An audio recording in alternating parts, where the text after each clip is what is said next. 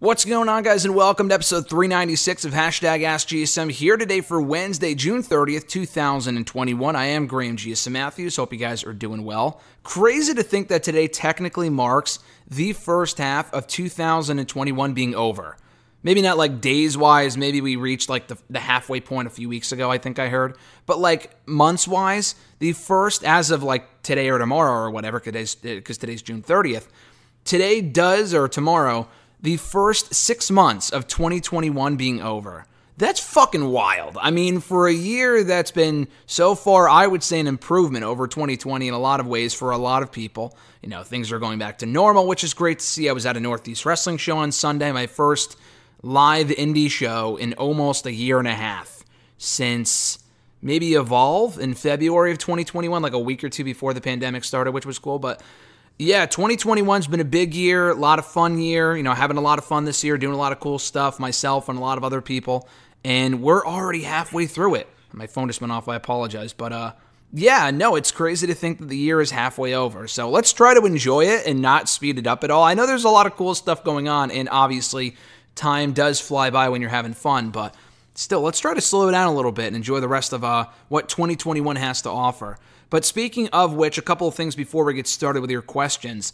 Um, if you haven't already seen it, check out my exclusive interview right now with one half of the potentially next NXT Tag Team Champions, Tommaso Ciampa, former NXT champion, WWE NXT superstar. Uh, Tommaso was great. We chatted Earlier in the week, I think we talked on Monday. Interview went up yesterday here in the channel, first thing Tuesday morning, and then went up an article form later on in the day on dailyddt.com. So if you're not already subscribed for one thing, what the hell are you waiting for here to the channel? Because not only do you get these Q&A videos literally every single Wednesday, I've not missed a Wednesday or not missed a week of hashtag in probably five years well over five years. So if you want your questions answered, want more insight on certain things, you're going to want to check out the channel every Wednesday. But not only that, in addition to this and the WrestleRant Radio excerpts where we do previews and reviews and predictions and stuff like that, uh, and SmackDown audio reviews on Saturdays. I break down Talking Smack, Raw Talk, Dark Side of the Ring. I just got done reviewing the uh, Chyna documentary from a week or two ago. I just broke that down on Monday. I review Broken Skull Sessions, WWE 24s, I talk Chronicles, Untolds. I review literally everything I watch on Peacock. But in addition to all of that, you're getting those exclusive interviews every once in a while. We have a couple going up each week. You know, last week we had Frankie Monet and the wide receivers, uh, the wide receiver from the Packers, the Green Bay Packers, uh, Davante Adams, which was not wrestling related whatsoever, but if you're a sports person, if you're a football fan, specifically a Packers fan, you're going to want to check it out. It was a really cool interview I did for Bleacher Report, and the opportunity just kind of presented itself. And um, I talked a little bit about it last week here on the show when I announced it on maybe that Wednesday or whatever, because I think it went up on Thursday. But yeah, no, it was. Uh, no, maybe I didn't announce it, but either way, it, it, it was a lot of fun to do and it was really cool. So uh, be sure to check that out when you get a chance. It's also up in article form, as I mentioned, over on BleacherReport.com on the football section, the NFL section. So that happened, which was awesome. I talked to Frankie Monet last week. This week we talked to Tommaso Ciampa. We got another interview for Bleacher Report going up on Monday, so the audio will be up on that same day. Um, it is a Raw superstar. That's your hint, which is why it's going up on Monday. It's a Raw superstar, but who is the question? So keep an eye out for that. Going up live Monday morning here on the channel in audio form, and another WWE superstar whose interview is going up, I'm hoping, in the next couple of days. I've already done the interview. I did it last week. It's just more a matter of like transcribing it, writing it up, and all that other stuff. So keep an eye out for that as well here on the channel in the dates to come. But you guys came here for the questions, and that's exactly what we're going to answer here in today's show. If you want me to answer your questions from Twitter. If you want to tweet me a question, you could do so at WrestleRant on the Twitter machine with the hashtag AskGSM. Find me on Facebook as well, facebook.com backslash graham.gsm.matthews. Drop a question on the post that I usually put up on Tuesday nights, if not on the wall itself. And last but certainly not least, drop your question down below in the comment section on this very video. I'll include your question in next week's edition. So let's get right into it, guys. No L from YouTube. Their first question was, do you think if Kofi Kingston wins at Money in the Bank, and the question said the Money in the Bank, but by that point, by the time they sent this in, it was already announced that he was going for the WWE title of the pay per view. So I assume no means um, that they were referring to at Money in the Bank when they faced Bobby Lashley, when Kofi faces Lashley. Do you think if Kofi Kingston wins at Money in the Bank, do you see him joining MVP and slowly turning heel down the road? You know, as much as that idea intrigues me, and it looked like they were kind of going in that direction with the interactions between the two backstage and MVP blaming Woods for always taking the fall for Kofi, all this other stuff. As cool as that would be, the issue with it is that I don't think they would ever do it. In speaking to Biggie myself and in speaking to Kofi myself, it really honestly feels like New Day is never going to break up. We're almost seven years into the group at this point, which is unprecedented for almost any stable to consistently be on the shelf for seven years. The Usos have been a tag team for over a decade now in WWE, um, but a stable, like a, a, a three man group on any television show, let alone WWE, where they break people up left and right, is unprecedented. So I don't think that it's ever going to happen. I think we're well po- past the point of it ever happening. You know, I was pitching it a year or two ago. Oh, Kofi's champion. Maybe turn on Kofi and cost him the championship. It never happened. Woods turning on Kofi would be interesting, but like you know, Kofi feuding with Woods with, with Woods as the heel. Because uh, Woods, although I like Woods a lot, I just don't think they see him as being on that level. Like Kofi would beat him on a episode of Raw, and then it would be over, and then it would be back to uh, main event for Woods. And I'm not talking about the main event scene; I'm talking about the show. So Kofi turning heel would be interesting.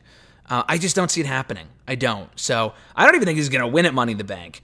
But even if he did, I just think he would be another babyface champion. And to be quite honest with you, they need more baby faces on this show anyway, and SmackDown as well. They need more top tier baby faces. Is Kofi that guy long term? No.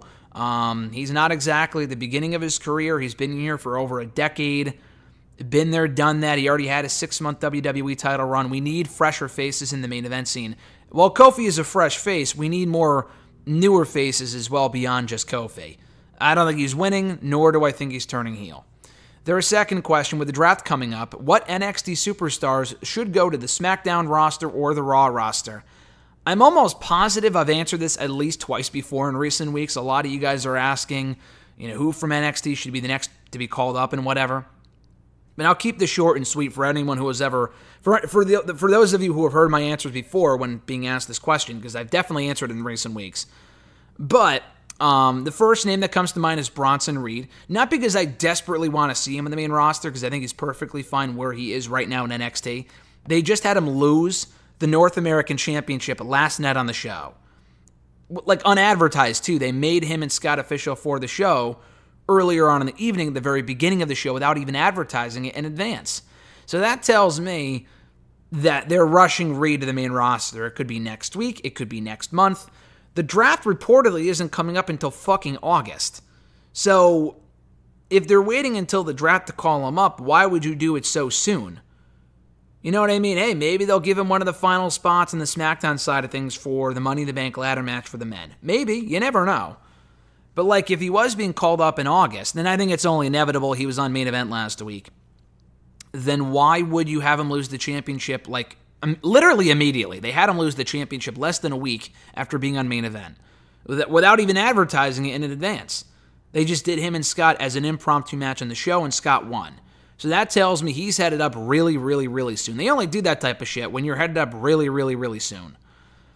So Reed is definitely going up. Karrion Kross seems inevitable as well. He was on main event too you know what? Maybe he does lose the NXT Championship to Johnny Gargano. That that's an, that's definitely a possibility. With how quickly Reed lost the North American Championship, it is absolutely possible that we get Cross and Gargano not at the next takeover, but like on an upcoming episode of NXT, and he loses the, he loses it to Gargano there. I don't know if they announced the match for next week. They may have. I don't think they did because we're getting Cole and O'Reilly next week. That's kind of like the crown jewel of that show. We're getting an NXT Women's Tag Team Title match. We're getting um, MSK, Tommaso Ciampa, and Timothy Thatcher for the NXT Tag Titles. So they already kind of have a stacked show, um, and they have a few other matches as well, I believe, that I'm just not thinking of off the top of my head. But yeah, so I I don't know. I just I just don't think that they're going to do it next week, but that's not to say that they won't do the match in the near future, and that's not to say that Kross can't lose it on an upcoming episode of NXT 2 Gargano, which I'm not exactly sure if that excites me. Gargano's first run was very short. Um, he would be a babyface again this time, and I don't know. Gargano's been there for so long that doesn't exactly excite me the idea of him winning back the championship. But hey, maybe if they tell the right story, I'll get behind it. But either way, um, I see Kross going up sooner rather than later. You know, Io Shirai to me is a given. I feel like she's not going to win back the women's championship. I don't think they're winning the tag titles next week. Her and Zoey Stark. So I would um, probably call her on up to the SmackDown roster, in my opinion. Adam Cole would be great, but I assume he's beating Kyle O'Reilly next week, and he'll probably stick around in NXT for a little while. So the four names that come to mind are Cole, Shirai, Kross, who's not like needed, but I just get the sense he will get called up, and Bronson Reed. Um, I'm not sure who else you. Oh, Finn Balor, obviously, as well. Finn Balor, I'm not exactly sure if that's considered a call up because he's been on the main roster before, but I mean, I guess he could come back to NXT, but he like disappeared after losing the championship. He came back, went after the title, and he lost. So like, what more can he do in NXT unless he has a farewell match and he loses that too, which he obviously would? He they probably should just wait to bring him back until like as opposed to bringing him back to NXT. Just wait until the main roster is ready to you know pencil him into the Raw roster or the SmackDown roster. So Reed is absolutely going up. Finn Balor is absolutely going back. Io Shirai, um, who did I say? Adam Cole and Karrion Kross are my five picks. Not that I all want to see in the main roster, but those who are who are, I think are going up in the next couple of months, if not at the draft. Um, let's see. Next question from at Reborn again, John Ritland from the YouTube machine. Check out his show, Real Honesty with John Ritland. He does great work, as they always say. His first question was um, the Kofi and MVP back and forth in the three way main event were great examples of how good WWE can do on Raw. So why don't they do things like that more often and do less of the bad comedy? You know, that's the question. That's the question. Maybe it doesn't reflect well in the ratings. Like, you know, I honestly think as bad as Raw has been overall for like the last maybe year or so, there have been some good shows, specifically recently. I thought they had a very good wrestling heavy show it wasn't Memorial Day. I think it was the week before Memorial Day, where like they had Riddle and Woods was a fucking great match. Um, they had a lot of good matches, and I thoroughly enjoyed this week's show too. I didn't think it was great; it was a step in the right direction, um, but I thought it had a good flow to it. The Money in the Bank stuff is giving more matches more meaning, which is nice. The women's division is all over the place, but at least they had a handful of matches on the show this week. Um, so yeah, I think that Raw this week was a solid show. But you're right why do they see that with fans this stuff clicks, but then they go right back to doing the bad shit? You would think, oh, the fans like this, let's do more of it. You know, I mean, obviously, sometimes they give us too much of what we want and they kind of shove it down our throats if we start to catch on to something. Like if we like a character, for example, they'll take said person and then fucking ruin them by shoving them down our throats. I mean, they do that quite a bit. But in terms of like formulaic stuff and, you know, switching up the formula of the show and stuff like that, I don't know. They should stop doing the bad comedy. The shit like the the Alexa Bliss bullshit. That's not even comedy, but like it's just bad television. Why not do less of that garbage and then more of the good stuff? I'm not even saying it has to be all wrestling, because you said yourself, John, the Kofi and MVP back and forth was not a match. It was a promo, and that was one of the best parts of the show. I liked the Battle Royal stuff. I liked the main event, and I liked the three way as well. I thought it was great stuff. I, I, you know, I, I, mentioned that twice. The Kofi and MVP as well, or the, the, the back and forth, and then the three way main event was the main event. So I like the triple threat main event. I like the battle royal, and I like the Kofi and MVP back and forth. I thought that was good enough to make it a solid show. It was enough to make it a solid show. So I don't know. That's that's the ever asked question, dude. Why don't they do more of the good stuff and less of the bad stuff when they are capable of doing the good stuff?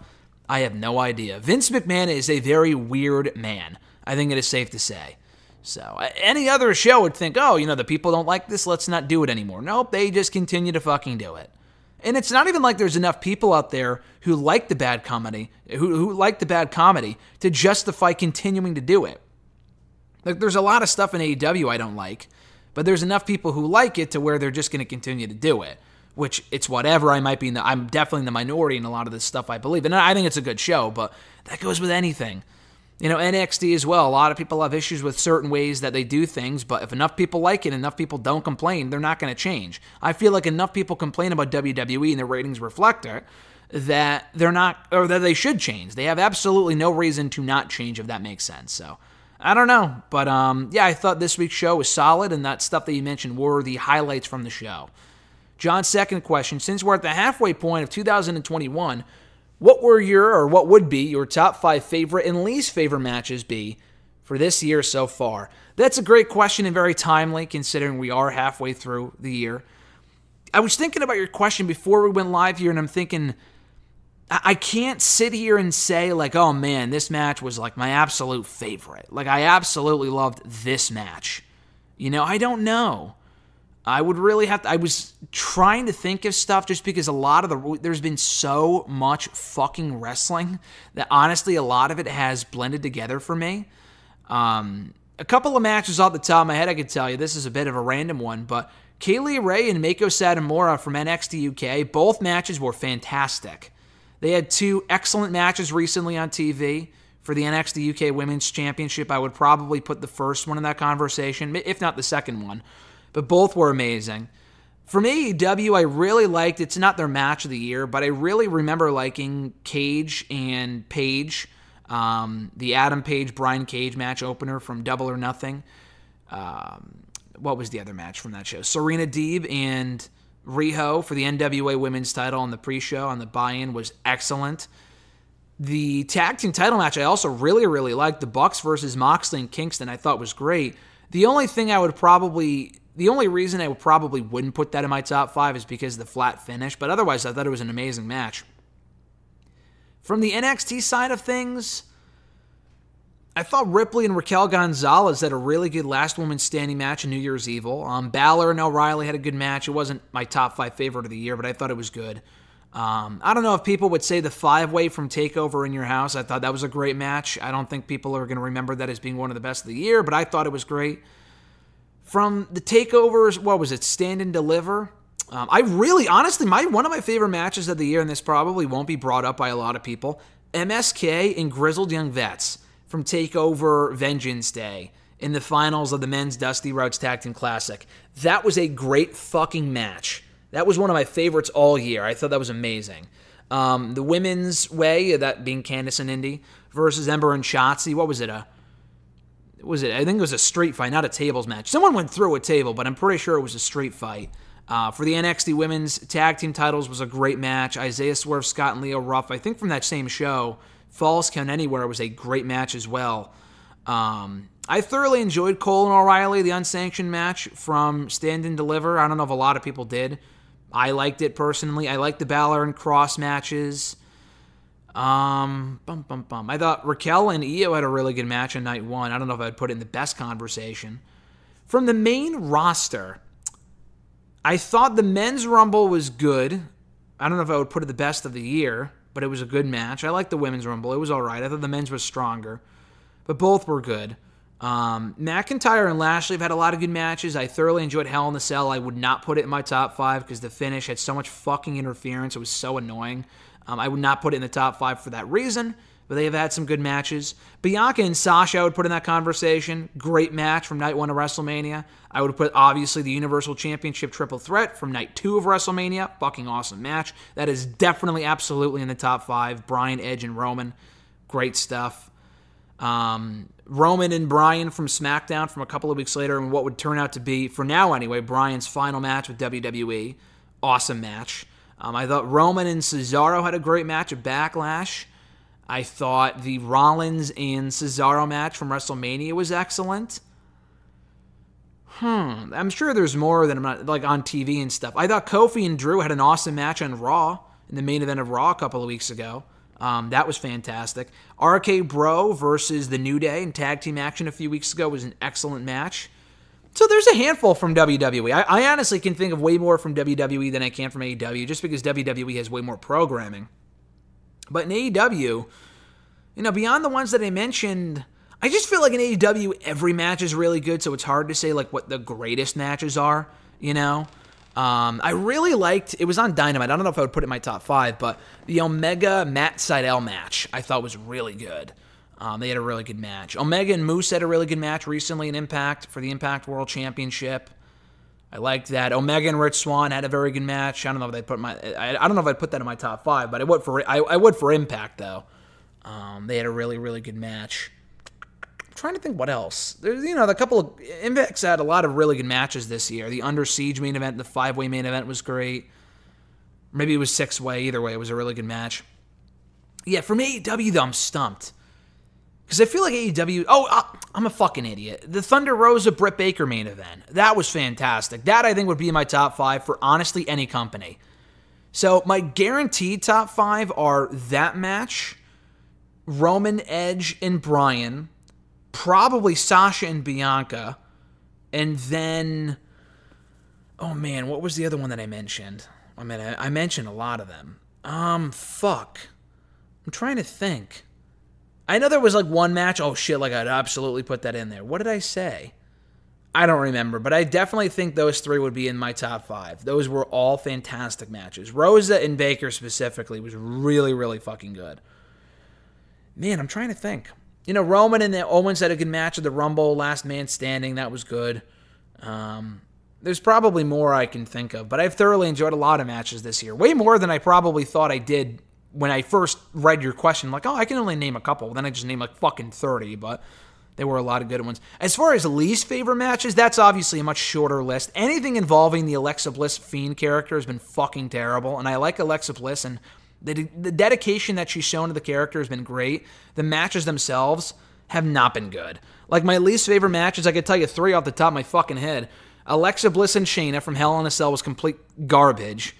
I hated the Fiend Orton match from WrestleMania. Thought that was just.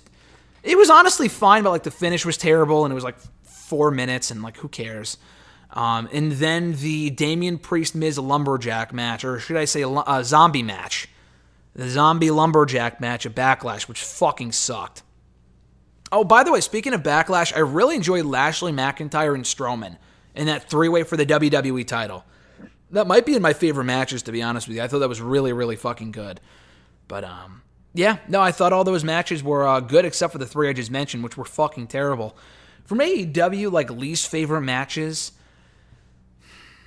there's not a lot of matches that are like my least favorite. I remember not liking what was it, Omega and the Good Brothers versus Moxley and the Bucks. The Bucks acting at that point, it, it still sucks, but like the Bucks were like, "Oh, I can't hit Kenny," and it's gonna like he they started crying, and Matt Jackson started crying. It was fucking stupid, so bad. So I'd probably, I mean, the match wasn't terrible, but like the acting was atrocious. It was really bad. So I'd probably put that in the conversation as well. In terms of like poorly wrestled matches, um, maybe Cody and Anthony Ogogo was just fucking bizarre. Anything involving QT Marshall, I just think is terrible. Um, I fucking hate QT Marshall. I'm not an Abaddon fan. I know you are, John. She's not really on the show as much, so I can't really say anything involving her because she's barely on Dynamite anymore. She hasn't been in like six months. I'm not a big Abaddon fan at all, but um, yeah, I don't know. I think that's about it. Um, if I think of anything else, I'll probably I'll mention on a future episode. But yeah, thankfully 2021 has featured a lot more great matches than it has bad. So there is there is something to be said for that, which is nice. His third question I know you watch and review Impact Wrestling regularly, so I want to ask Do you think there's anything the company can do to drum up more interest, or are they pretty much stuck at their current level for good? You know, honestly, I hate to say this, but I really do think it's the latter. I really do think that they are stuck at whatever level not the worst place to be. They're still in business. They're still putting out shows. They're on AXS TV. They're not only on Twitch anymore in the fucking Pursuit channel or whatever the hell it was called, the hunting channel. They're in a better spot than they were a year or two ago. So it's not to say that they can't grow, but in terms of their fan base and people coming back and watching the show on the regular, you know, I'm going to say this. I honestly think Impact is one of the better weekly shows that I've seen in wrestling all year. It really is. I thoroughly enjoy the show. It's logical booking. They have good matches. Um, it's kind of like NXT where they, they have a lot of good stuff, but there's just not enough people talking about it. It just doesn't have that buzz. The problem with Impact, though, Impact or NXT had that buzz like a year or two ago. Impact has not had that buzz in close to 10 fucking years. So at this point, with NXT, the people will fall back in NXT, or they could if they wanted to. With Impact, honestly, I have not seen a lot of people say, you know what, I used to fucking hate Impact. It was trash. But then they really turned me around with all the good work they've been doing recently. I haven't seen that any I haven't seen any of that at all. The problem is that they do a lot of good stuff and people will pay attention or talk about it like, oh, I saw the Omega Rich Swann match, but they won't stick around. because they are so burned on the Impact, TNA, GFW bullshit that they're just never going to revert back. They're goners. Honestly, it's like the whole WCW thing. Like WWE for so long tried to get back those WCW fans that never translated over to WWE when they bought them out in 01. Um, you know, they tried, they really, really tried to get those fans back, and they probably got some of them back with certain stuff they did, like when they brought in Sting and they, when they first brought back Goldberg, but they didn't stick around. I have never seen anyone say, oh, you know, I used to watch WCW, and then when they brought back Sting and Goldberg, I became a fan again. Maybe a few people, definitely not an overwhelming majority. People just stop watching and they never go back, especially if the like the bad taste that the company gives you lasts for so like there's a lot of people who stop watching WWE and will probably never go back to it because of the bad taste it gave them for so long. Like the damage has been done. You can't go back. You can, you know, be like, listen, it's good. They're doing good stuff and whatever. But I'm just, I'm done. Honestly, it's like it's like a relationship or something like that. It's like you have enough problems with your significant other, whether it be a girlfriend or a boyfriend or a wife or a husband or whatever, and there's enough problems to where you're like, all right, I gotta I gotta sever this relationship. Like this is it's toxic. I, I love this person, but at the same time, it's like they're causing me way more pain than happiness. That being WWE or I mean, I, I know I'm taking your question to the next level here, but just let me finish. It's like, listen, this this whether this product or this person has caused so much toxicity, I've got to I've got to sever the relationship, and it could be years. You could see that person again. You could stop by. You can run into them on the street. You can catch WWE on a channel while you're channel surfing. Uh, uh, uh you can catch WWE on USA while you're channel surfing. And be like, you know what? They're doing some pretty good stuff now. Those bad memories will forever be there. And yes, there is something to be said about moving about moving on, but the damage has been done.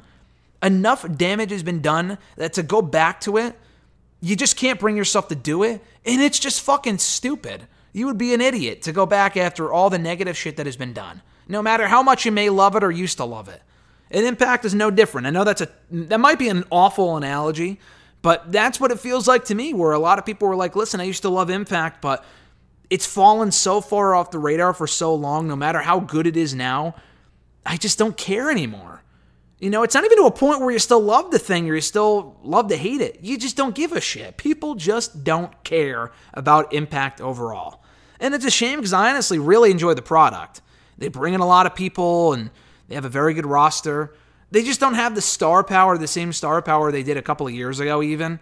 So it's like people, like when Styles left, that was a real big nail in the coffin for a lot of people because he was a big reason as to why people watched. And he wasn't even a former WWE guy. I mean, he's in WWE now, but he was a guy that people would watch for. Samoa Joe was a guy that people would watch for. Sting, Kurt Angle, and they're all gone maybe not Hulk Hogan, but like people they, they had notable names that people could tune in to see what they're doing. They don't really have any of that now. Eddie Edwards is not that guy. Rich Swann is not that guy.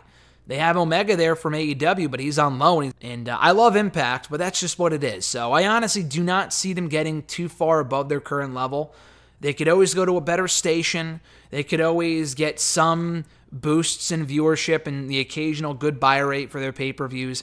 But beyond that, though, I think they're stuck at their current level for good because the damage has been done. And even with the reset, because they, you know, they moved over to Impact or not TNA anymore, that shift happened so much later than it should have, it just doesn't even matter. They will always be known as TNA. If they made the switch over in 2011 like they were trying to, when they were calling it Impact Wrestling on the regular, and at the end of the day, though, it was still fucking TNA. It was still LOL TNA. If they made the switch 10 years ago, they probably would be in a better spot than they are now. But they're just they're not. Like they made the switch way too late. It was it was too little, too late. So I wish them all the best. I enjoy Impact a lot, but they are probably stuck at their current level for good. I hate to say. At Iwagu91 from Twitter, did you know that Bobby Lashley versus Xavier Woods is the first Hell in a Cell match that featured solely black competitors in the match? I did not know that. That is a good stat and a sad stat because I feel like in the 25 years of Hell in a Cell, nearly 25 years since 1997, we've never had another cell match that featured only black competitors. That's that's that's terrible. That that we haven't had that before now.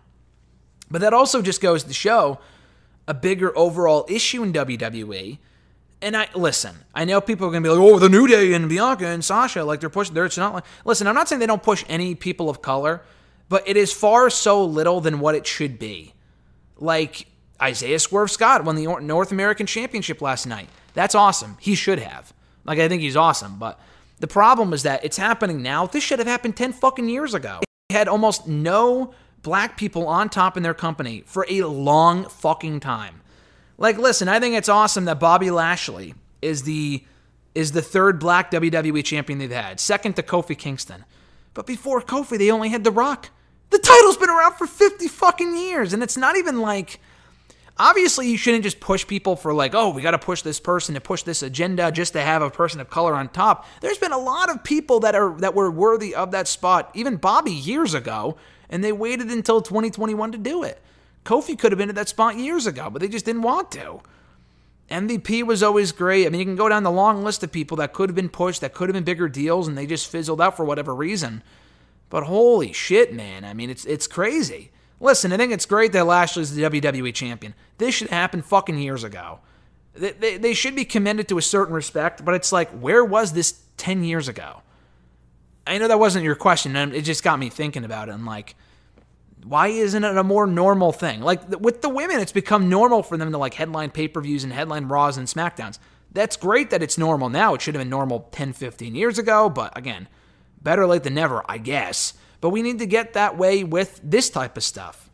Again, don't just put two black guys in there just to say, oh, we are first ever black versus black person Hell in a Cell main event, whatever. Obviously, don't do it just for that reason, but like there are reasons to do, like, you know, Sasha and Bailey or Sasha and Bianca could be a Hell in a Cell match at some point. That makes sense to do inside the cell. But we should have been to this spot a long time ago. A long time ago.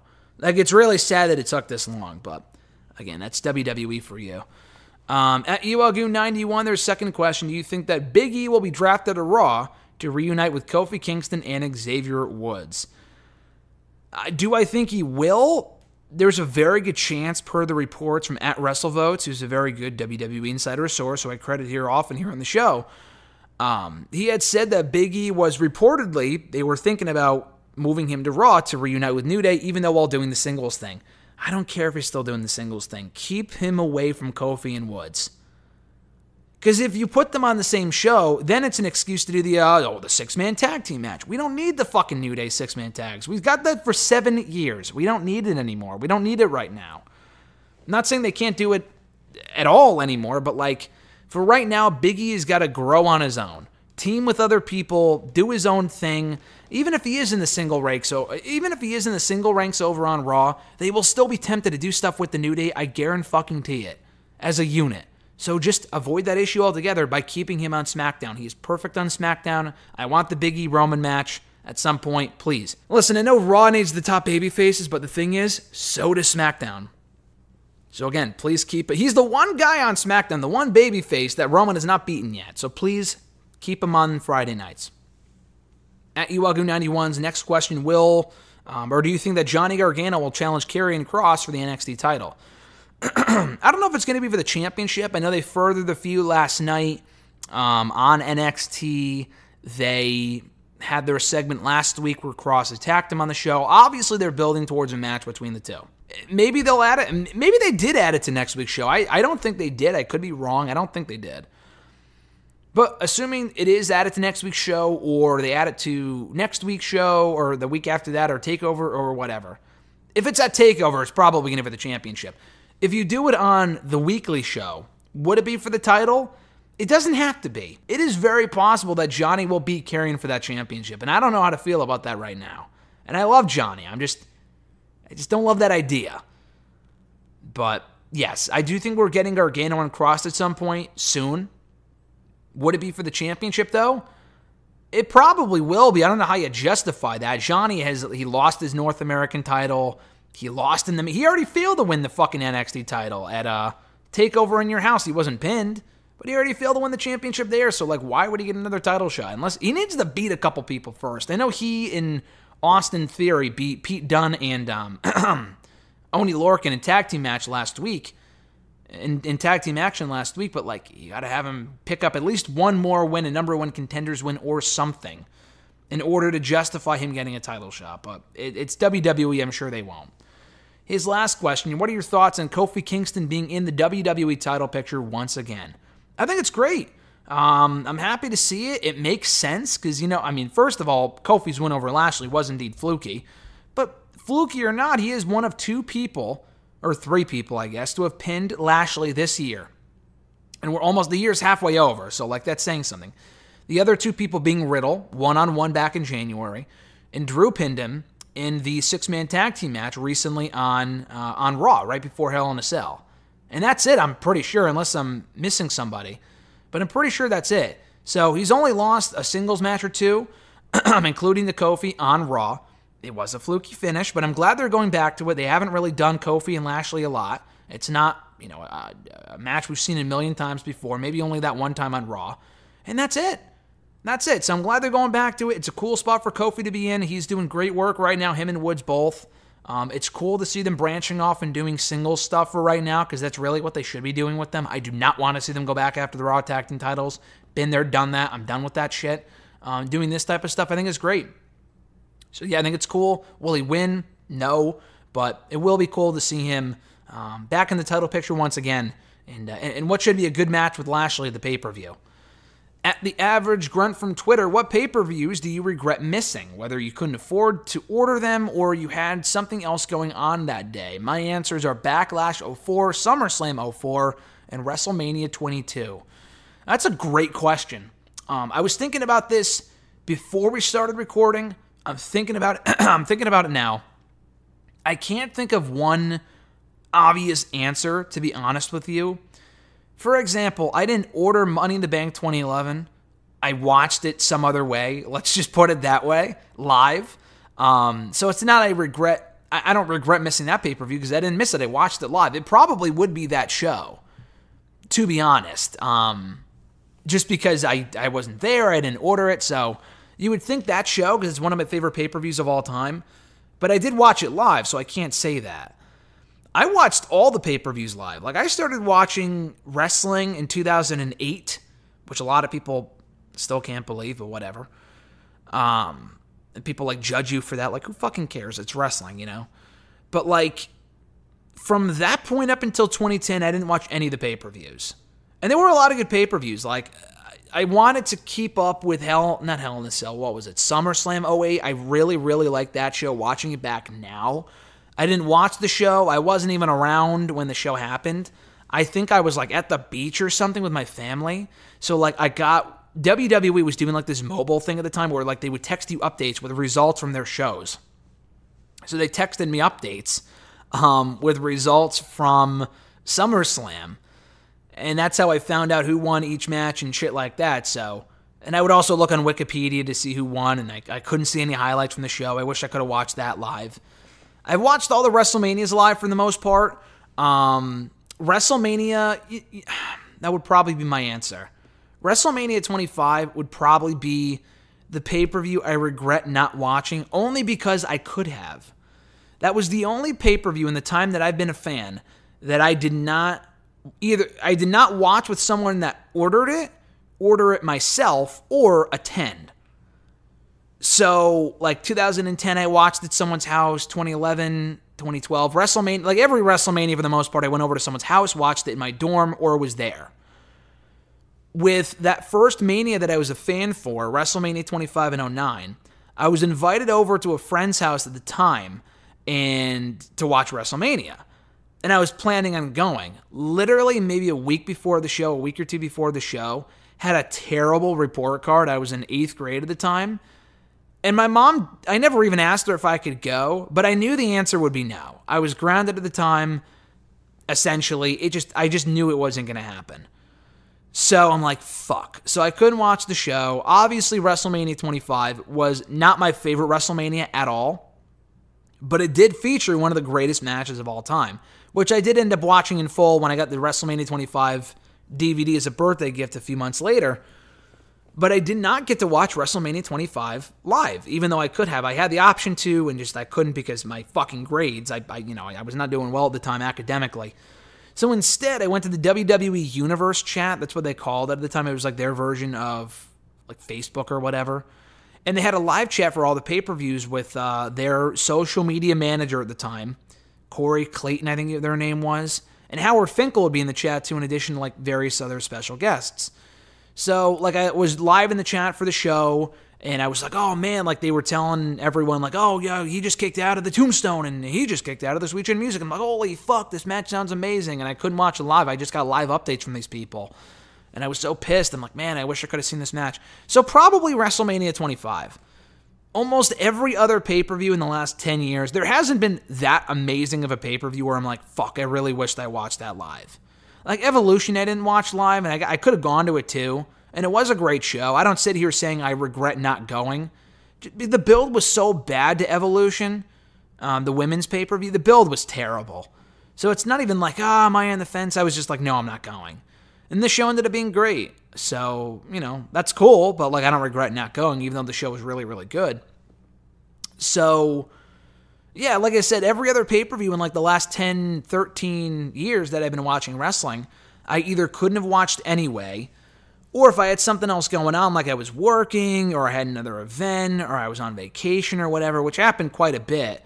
That's happened a lot in recent years where, like, I'll have a, like, I made it a point for years to watch all the pay per views live. Like, I never missed a pay per view from probably 2010 through 2013. Battleground 2013 comes around. The product was so bad at the time, and I'm like, you could say what you will about the product now. It is better than it was at this point. It was fucking terrible. And this was around the time that the authorities started up and shit. So I was watching the product at the time, and Battleground was on. The first ever Battleground pay per view they did. And like, I think I had parents over at my school that weekend. I was in college, I was a freshman. It was like parents' weekend or something. And I had homework to do that did not stop me from homework had never stopped me before from watching a WWE pay-per-view. I could name you probably 10 different instances of when I had homework due the next day, but I would say fuck it, I'm watching the pay-per-view instead. Book reports, it doesn't matter. I never I did all that shit when I had the chance, but like wrestling always came first for me. In college, I'm like, listen, this is stupid homework I could just do afterward. But I'm like, I just don't give a fuck about this pay per view. I'm going to just watch it tomorrow. Fuck it. I'm not going to watch it now. so I did. And that was the first pay per view I missed in like three years. And I don't regret it at all because that show sucked, aside from the Cody Rhodes and uh, Dustin Rhodes, the Goldust versus Shield match. But yeah, um, I do regret. I, I didn't really have an option, but um, in 2017, I'm going, I'm rambling here, so I apologize, but this is a great question. The only show I wish I had attended, I, I missed a live event where The Rock was at in Boston. I had tickets to it. I, I traded them in for a refund because I, I was on vacation anyway. The Rock showed up, which is fucking awesome. It was in Boston like six years ago, almost exactly six years ago, actually. Um, I went to an awesome Raw seven years ago today in Hartford where Jericho came back and, and The Miz came back and the Wyatt family attacked Jericho, all this other shit. But the one show that I really wish I had gone to in recent years that I probably could have, but my priorities were correct in this respect at the time. So I'm not even saying, oh, in retrospect, I wish I went to the show because I would have been a terrible person.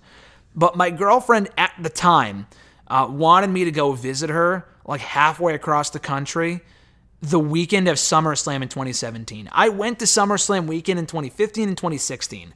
2017, I did not go. SummerSlam, I don't regret attending. I don't. I don't regret not going to because the show was not good. It was just a terrible pay per view. One of the worst SummerSlams I've seen in recent years. Takeover, however, was fucking amazing. I was there for Brooklyn's take. I was there for every takeover in the Barclays Center, all five of them, except for that third one. I was there for one, two, four in what they called New York in 2019. Um, I did not go to that third one because they went to go visit my, excuse me, my girlfriend at the time halfway across the country that same fucking weekend. And it was like one of the best takeovers they did. They had Andrade versus Johnny Gargano, amazing match. Aleister Black versus Hideo Itami, amazing match. Even Sanity versus Authors of Pain was a great fucking match. Ember Moon and Asuka, amazing match. Drew and Bobby Roode, not a great match, but you know it was it was decent. T- McIntyre wins the title. Undisputed Era debuts. I'm like, what the fuck? I mean, this is amazing. So it was just crazy, but uh, that was an amazing show. I was so fucking pissed I couldn't be there for that. Again, I don't regret it in retrospect. I would have been a terrible person um, had I gone to that, had I chose to go to that show, except for going to visit my girlfriend at the time. Even though, in, in my opinion, now it's not that worth. You know, I'm not with them anymore. I would be like, oh, I'd go to the show any day of the week. But like that would have been a bad thing for me to do. That would be a bad boyfriend thing for me to do at the time. So I apologize for rambling, but that was a really good question. So anyway, on to the last one. Have you heard about? I'm sorry, this is from at E13A. So thank you, Emmanuel. His question was Have you heard about the WWE writer, Kenice Mobley, who recently got fired apparently for admitting in a podcast, admitting in a podcast that she didn't need to be familiar with WWE? Yes, I heard about it.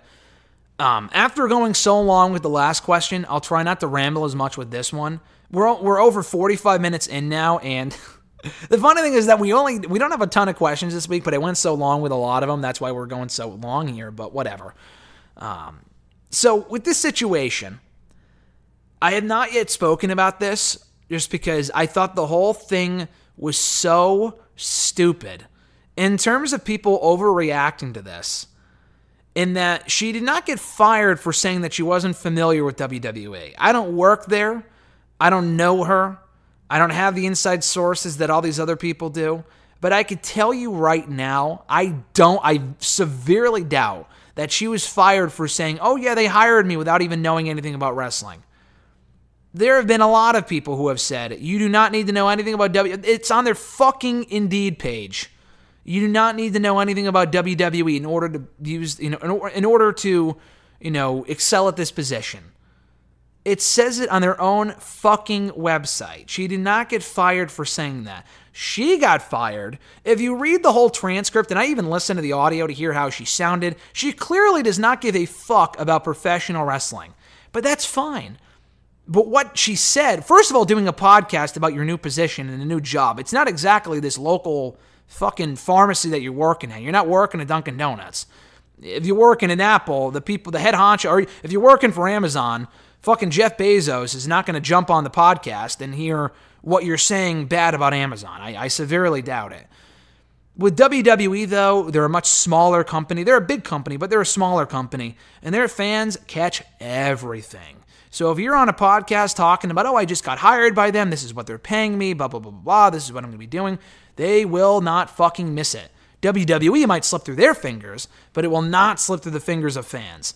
People are on this shit. So essentially, it was the fans drawing attention to the podcast that got her fired. But everyone is at fault here. So here are my thoughts on everything. Everyone is stupid in this situation. This woman, Kenice Mobley, was not fired for not knowing anything about WWE. Whatever. I'll have more thoughts on that in a second about the fact that she didn't watch the product. She probably shouldn't have said, Oh, I don't even know the name of their top champion, Bobby Ashley, Bobby Lashley, what is it?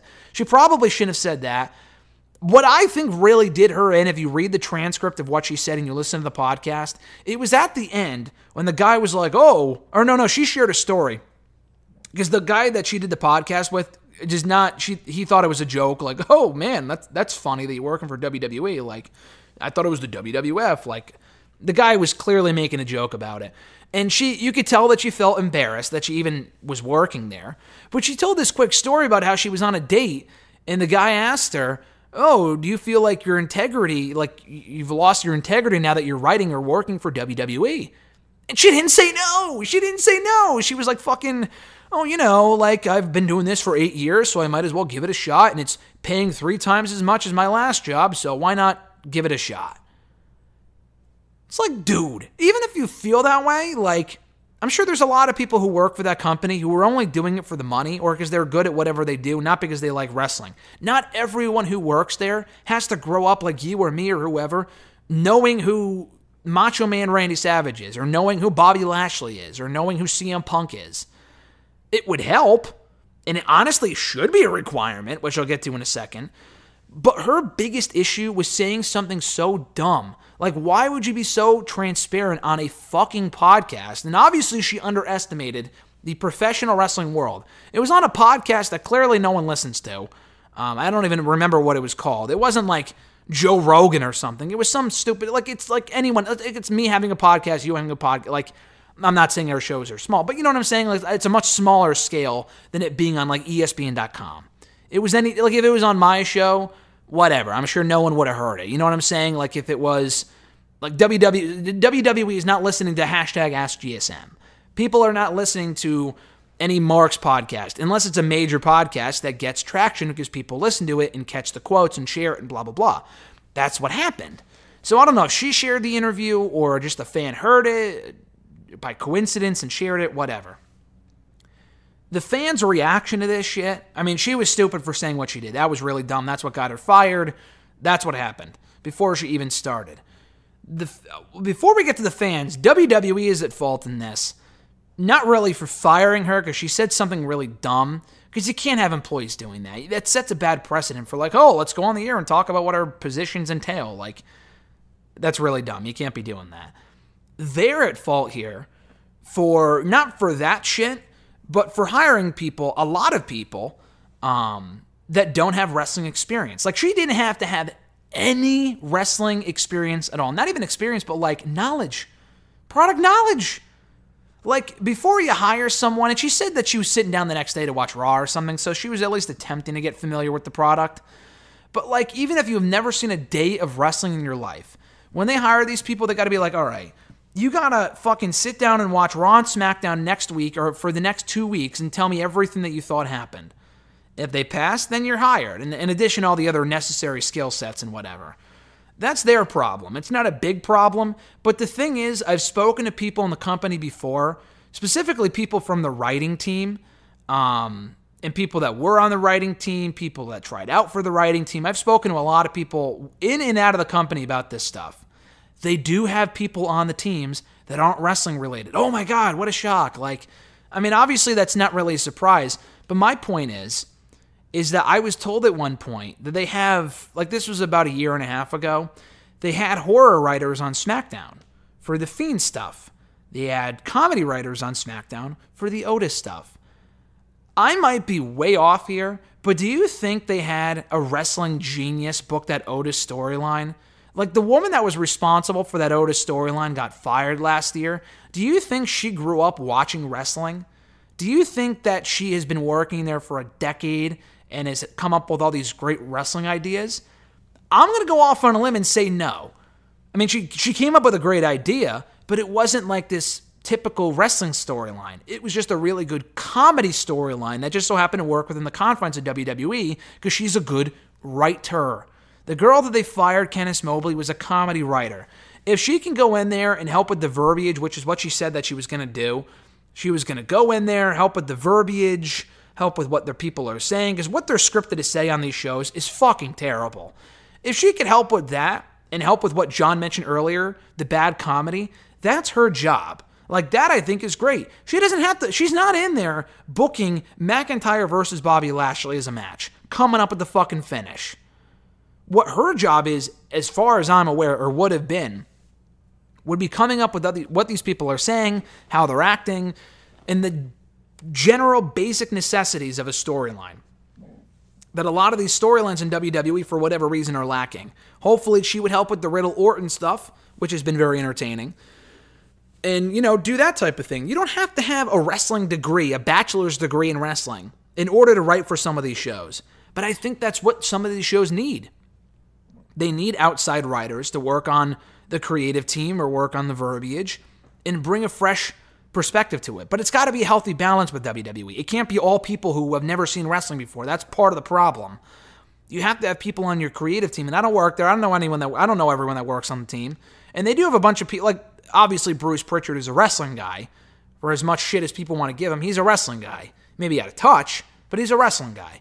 You need a healthy mix of people like that and a healthy mix of people that aren't familiar with wrestling, but they're good with horror and comedy and, you know, serious drama, stuff like that, you know? So I think it's a good mix. Um, currently, they don't require any wrestling knowledge whatsoever to work for them. That is part of the problem with them. The fans are at fault here. I mean, them dragging up the quotes and talking about it probably was what got her fired because I'm sure they would not have even heard about this had fans not made light of it. But the fans over fucking reacting over people like, oh, we don't want her here, you know, blah, blah, blah. Holy shit, it was embarrassing. People's reactions to this was ridiculous. I laughed off the fact that she called him Bobby Ashley. That was a little stupid. But like everyone else saying, oh, you know, this this company, it's the last thing they need is more people like this. And the WWE needs people like this woman. Without saying the dumb stuff, what she said on the podcast, but like her skill set is what this company needs more of, in addition to the wrestling people they already have. Like I said, healthy balance. It needs to be 50 50 or at least 60 40, something along those lines. We need a wrestling perspective on these shows and an outside perspective for drama, comedy, horror, stuff like that. The horror shit with Alexa Bliss, I don't know who the fuck is writing it, but it's terrible. Whoever's writing the Orton Riddle stuff, the comedy stuff with them is great. So they need to hire people who have a strength in each of those divisions and whatever, and then go from there. It's just, I don't know. I think fans were overreacting, like, oh man, you know, fuck this person. And oh my God, the people, just the embarrassing shit from some of the fan bases, just embarrassing because it makes everyone look terrible. It makes all fans look terrible when you have that negative, I don't know if it's majority, but that negative contingent of fans are so vocal and just nasty. Oh my God. Like wishing death upon this woman, hoping she gets fired, which she did, but not for the reasons that we all think. It's not like, oh, she's not a wrestling person, so let's get her the fuck out of here. Like, that's not why they fired her. People are like, oh, yeah, they fired her because, you know, we made a big complaint about it. No, they fired her because of what she said at the end there about kind of being ashamed to work there. That is part of the problem with her. The fans' problem are freaking the fuck out about not having a wrestling person on the creative team or like I mean there are people on the creative team that are wrestling, you know, minded and stuff. But like them hiring a comedy writer, holy shit, stop freaking the fuck out. Like give her a shot. Oh my god. Like just give it a chance. Like I understand where people are coming from, but you have to realize that wrestling is not everything with these shows. There are other aspects to the shows that aren't wrestling. Raw is bad. So hopefully she could help with a comedy and made some of the scriptage, you know, some, made some of the verbiage better and the promos better. We'll never know because she got canned. But this shit happens all the time and you never hear anyone talk about it because they don't fucking go on podcasts talking about it. So we're, I don't know. The fans are at fault, the company's at fault, the woman's at fault. Those are my extensive thoughts in the whole situation. It was just one giant dumb situation that could have been easily avoided had she not said anything stupid on the podcast like she did, had fans not freaked out, and had WWE just hired people that have more knowledge or have more, like, inclined them to watch the product more than they do. To not know a single lick about wrestling is, is an issue. Um, you have to have some knowledge of it. You don't have to be a diehard fan, but that was their problem as well. So that was, I, I say my two cents. That was a whole like $10 on the situation. But, uh, yeah, that that that that's I was I was gonna say that's it in a nutshell, but that was quite the extensive explanation. And we're almost an hour in here after answering like ten questions. So that's it for today's episode, guys. I love answering your questions. Uh, you guys sent in a lot of good ones this week, a lot of uh, in-depth ones I could really sink my teeth into. So thank you. I talk a lot, obviously. I ramble a lot, so I appreciate any great questions you guys can send my way. Uh, be sure to tweet any questions that you have for me on the Twitter machine at WrestleRant with the hashtag AskGSM. Find me on Facebook as well at facebook.com backslash graham.gsm.matthews. Drop a comment on the post that I usually put up on Tuesday nights, if not on the wall itself. Last but certainly not least, drop your question down below in the comment section on this very video. I'll include your question in next week's edition. So have an awesome one, guys. Like I said earlier, check out my latest exclusive interviews with Frankie Monet from last week, Tommaso Ciampa from this week, Davante Adams from last week, and more to come in the days to come. So if you haven't already, please like this video, drop a comment, share the video, and subscribe to the channel for more daily content and exclusive interviews you're not going to hear anywhere else. Have an awesome one, guys. I'm Graham GSM Matthews, and I'll catch your ass down the road.